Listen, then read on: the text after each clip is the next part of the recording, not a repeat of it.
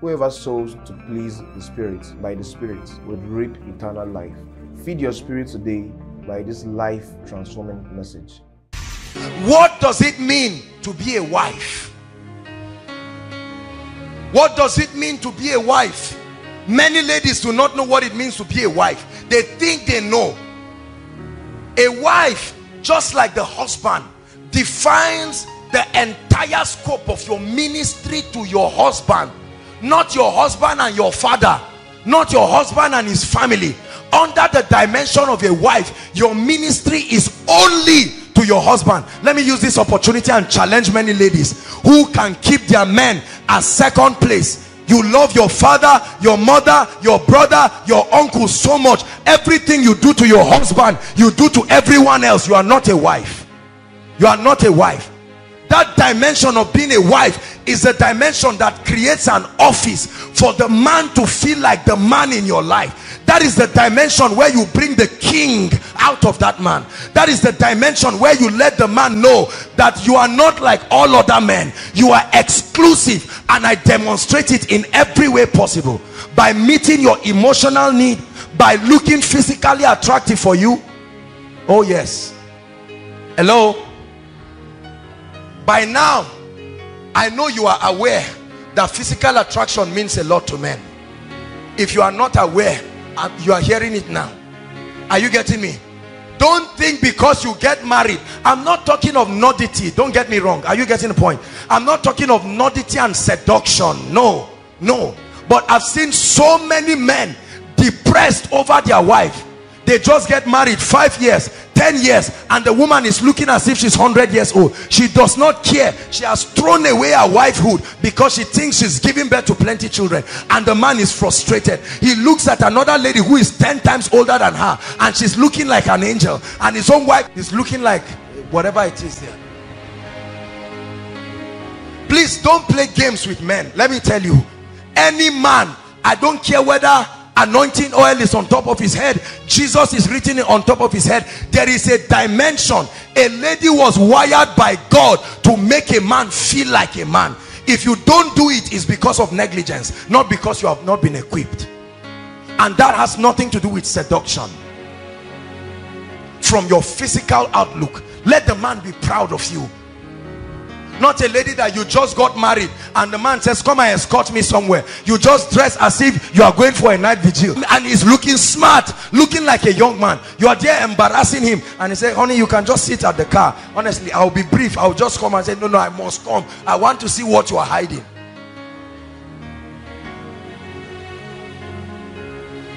If nobody has told you i'm telling you now in the name of the lord it matters. It matters. Ladies it matters and it starts from relationship.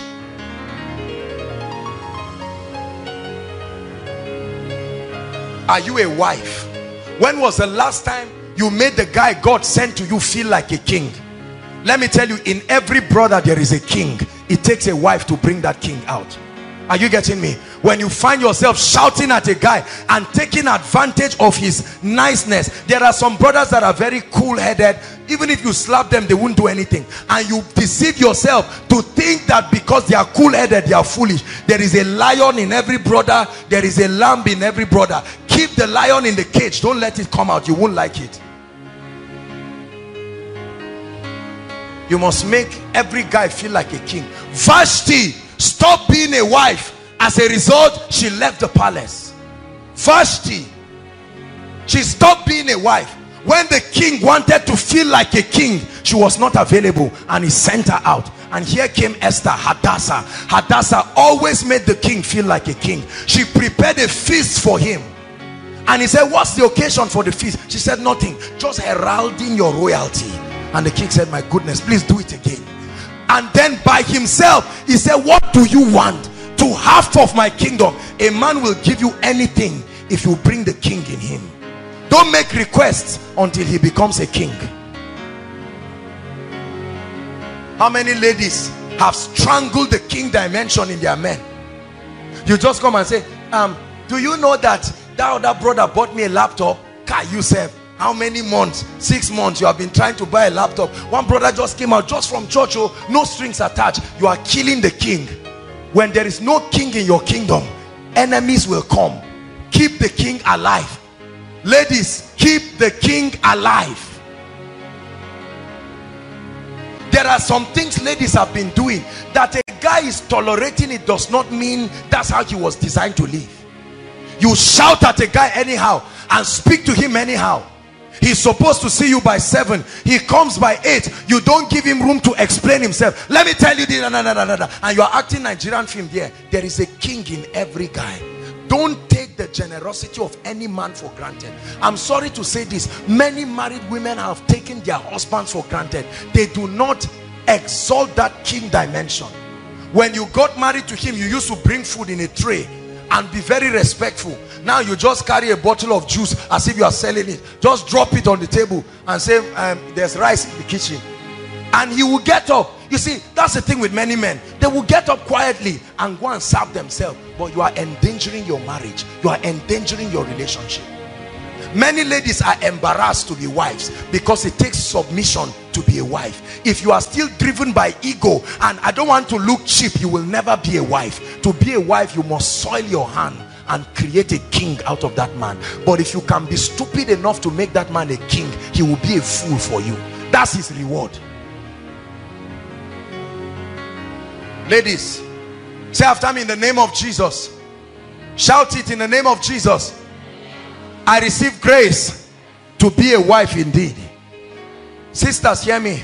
Don't learn those jargons that you watch on tv there is a difference between secular relationships and marriages and kingdom relationships. Please don't let anybody confuse you. A virtuous woman who can find. The bible says her husband will praise her at the gates. She will do him good all the days of her life. Can you honestly say from the day you started going out with that guy you have brought joy? Ask yourself have you brought joy? Don't lie from the time you started going out with the guy have you brought joy to his life? Or heartbreak? His finances went down. His eh, reputation went down. His spiritual life went down. His ego went down. His sense of purpose went down. You are not a wife. He that finds a wife you must be a wife to be found. It's not marriage that makes you a wife.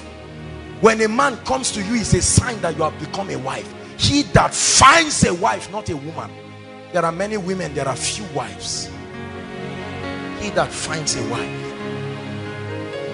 Number two mother. Watch this. Mother. In one word a mother is the maker of the home. The key word under motherhood is sacrifice. There are many ladies who have paid the price to be wives they can give any guy the kind of love he wants. They can cook for the guy. They can do everything but they are not mothers. Ladies i challenge you to have an elderly woman in your life who will not feel embarrassed to teach you motherhood. Ladies i challenge you in the name of the lord. Do not allow westernization suck out the dimension of motherhood in you. Motherhood. A man can build a house but it takes a woman to make a home. A man cannot make a home. A man can build a house and put chairs in it. A home talks of the emotional climate creating the conducive atmosphere for love the conducive atmosphere for unity the conducive atmosphere for progress and peace is the responsibility of a woman. I challenge the school of ministry and i said when i come to anybody's house there are three things ladies i will look at in your house to prove to me whether you are a mother indeed. Number one your kitchen. Your kitchen is a reflection of your motherhood ability. Kitchen. That's where the meals are made. Right? That's where the health of the people is preserved. There are many people their kitchen is a mess there are many young ladies. You dress well you wear new clothes but your kitchen is a mess. Five day old plates one week old plates roaming around in the kitchen here. The sink is dirty. You look at the cookers palm oil everything on it. You see bread that has fungi. To carry it and throw it you lift it you leave it there. The trash can is filled with dirt. You are not a mother. You may be a good wife but not a good mother the Bible says she wakes up in the morning talking about her motherhood dimension while it is yet early and prepares something for the children Proverbs 31 and she comes to cover them to make sure they are warm in winter. That's a mother a homemaker. Sisters are you mothers? Are you mothers indeed? That's a question God is helping us to understand tonight. Many ladies are not mothers but you can be mothers if you make that decision tonight. So your kitchen. Number two your toilet. The toilet in many homes is a disaster. A disaster plus plus. Disaster. One universal towel used by everybody including visitors. One universal sponge. Right? A sponge that looks like a rag torn into pieces and the woman cannot buy another one.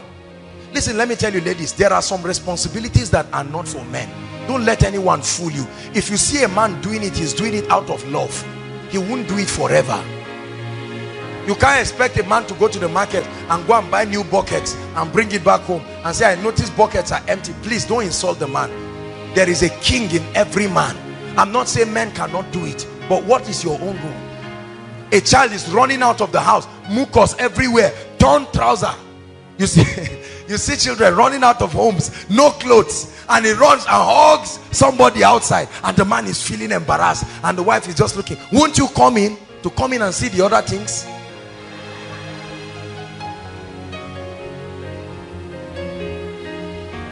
Toilets.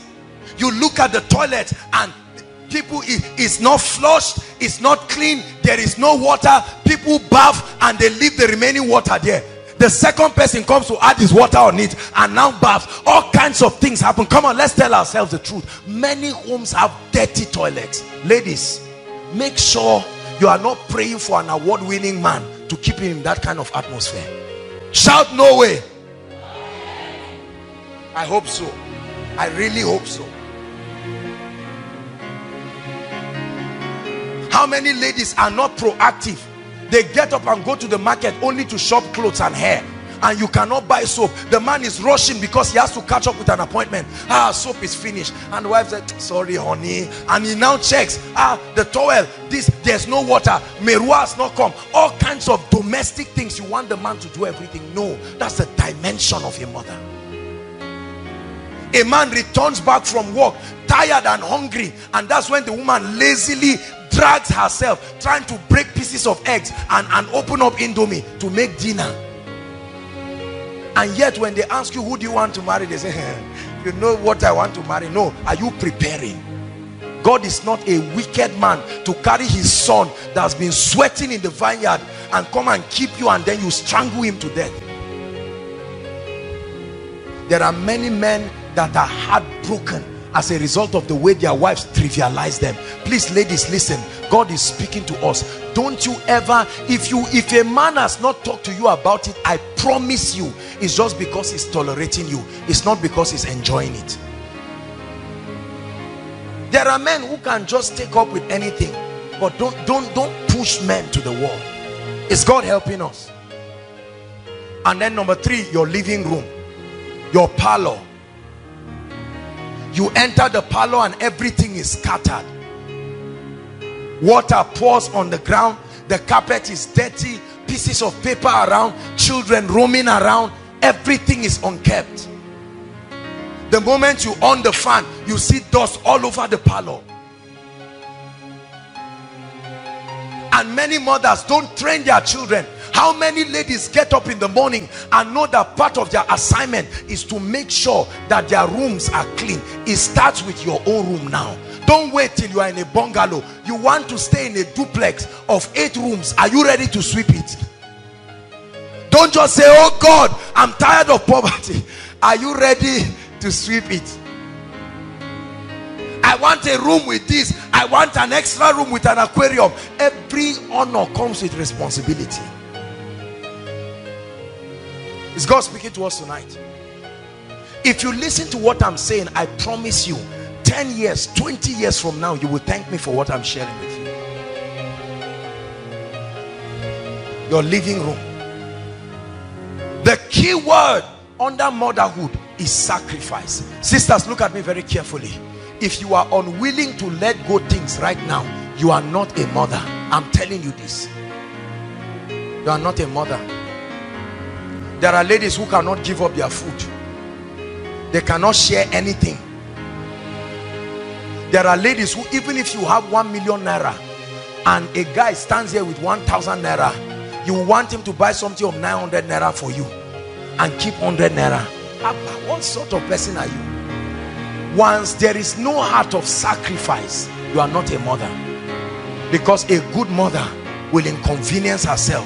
A good mother will protect the image of the father and the husband. Have you seen many of our mothers do a lot of things and give the honor and the credit to the husband?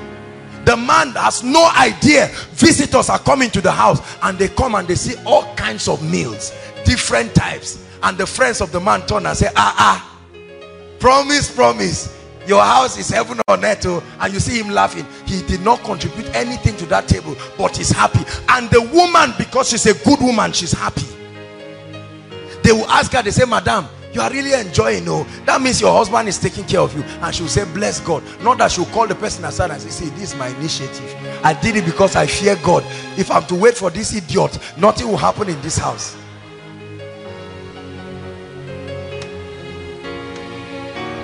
How many of you right now can do good and give the credit to the man god has given you and not be ashamed ladies how many of you can do that? That you are the one that dressed him well and when he comes out and people are saying Car, you have an excellent dress sense you keep quiet.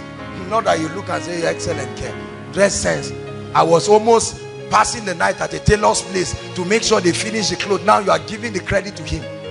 A mother does not want any glory for herself. Her pride is that her husband and children are lifted even at her expense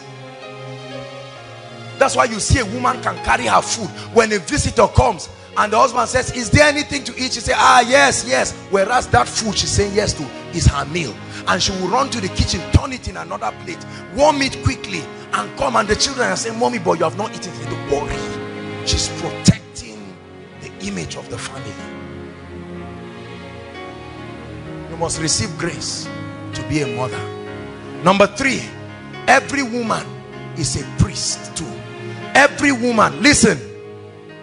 And this applies most especially to single moms and women who maybe their husbands are bereaved and so on and so forth. That there is no man in your life whether technically or directly if there is no man in your life you must still perform that role of priesthood.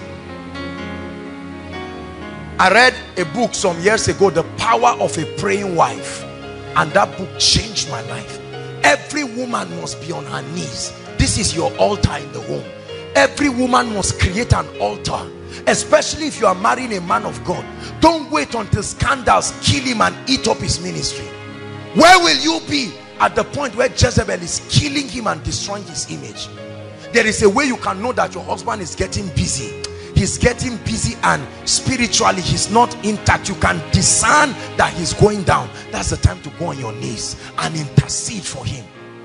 You see him making foolish decisions. He's a leader over millions of people. One decision can implicate him. There are sycophants. There are newspapers waiting to discredit his grace.